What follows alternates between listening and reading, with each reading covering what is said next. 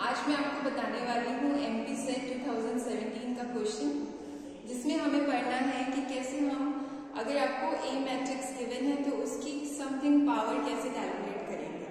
यहाँ पर जो मैट्रिक्स है, वो ए गिवन है, जिसकी एंट्रीज है one zero zero zero sorry one zero one zero one zero ये थ्री बाई थ्री का मैट्रिक्स दिया है स्क्वायर मैट्रिक्स और फाइंड आउट करना है कि A to the power 50 A to the power 50 की क्या वैल्यू होगी उस मैट्रिक्स को हमें बताना है जिसमें हमारी ये चार चॉइसेस दिए हुए हैं।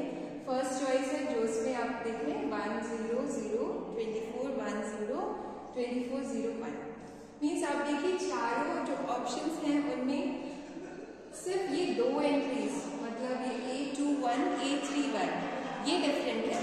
अदरवाइज़ और सारी एंट्रीज क्या है? सेम सो so, हमें यहीं पर कॉन्सेंट्रेट करना है। किस पे A two one A three one पे सो so, जब हम इसको सॉल्व करेंगे हम मल्टीप्लाई करेंगे मैट्रिक्स को तो हम ज़्यादातर इन पे गौर करेंगे कि इनमें क्या वेरिएशन आ रहे हैं।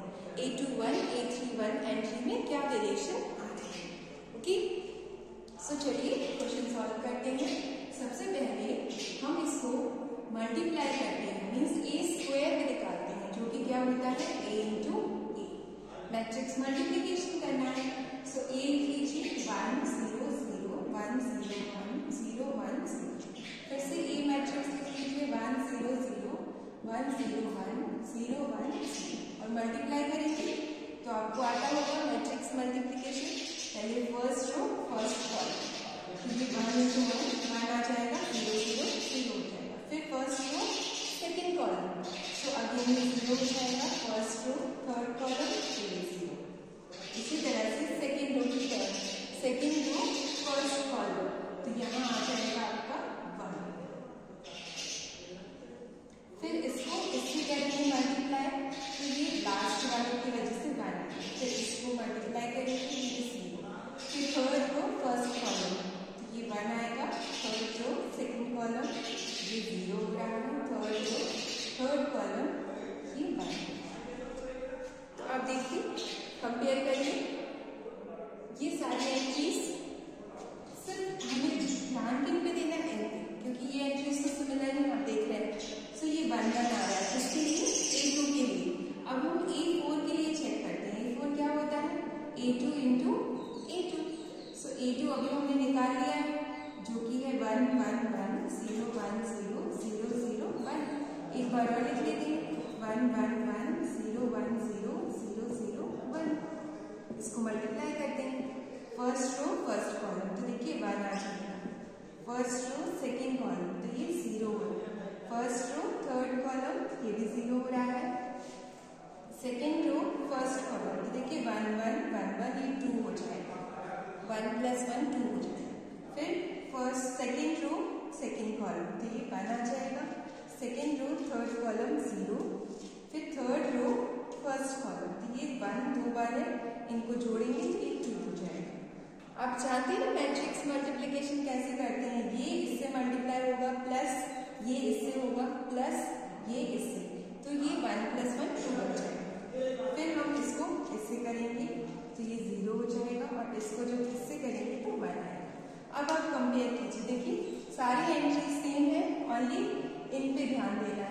क्योंकि ये वेरी नहीं हुए। हैं सिर्फ़ ये दो एंट्रीज वेरी हो रही है A two one A three one जो कि वन वन थी, अब क्या हो रही है? टू टू वन गई है। तो एक बार और चेक कर लेते हैं, हम ए सिक्स निकाल के देख लेते हैं, ठीक है? ए सिक्स तो कितना होगा वो? ए सिक्स को आप लिखेंगे तो क्या होगा? ए फोर पावर में A four into A two A four अभी हमने निकाला है, ये one two two zero one zero zero zero one. वैसे आइडिया अभी तक आपको लग गया होगा कि करना क्या है। इसको मल्टीप्लाई करके हैं इसको करेंगे, इससे तो वन आएगा।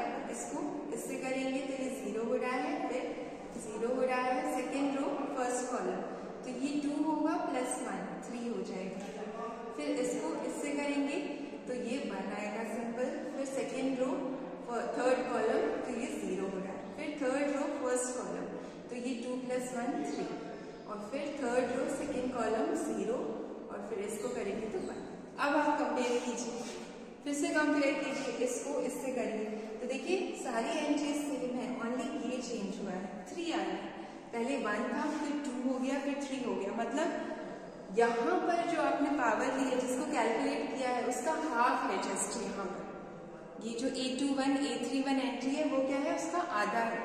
टू है तो वन है। टू का हाफ़ वन यहाँ फोर है फोर का हाफ़ टू तो यहाँ टू है।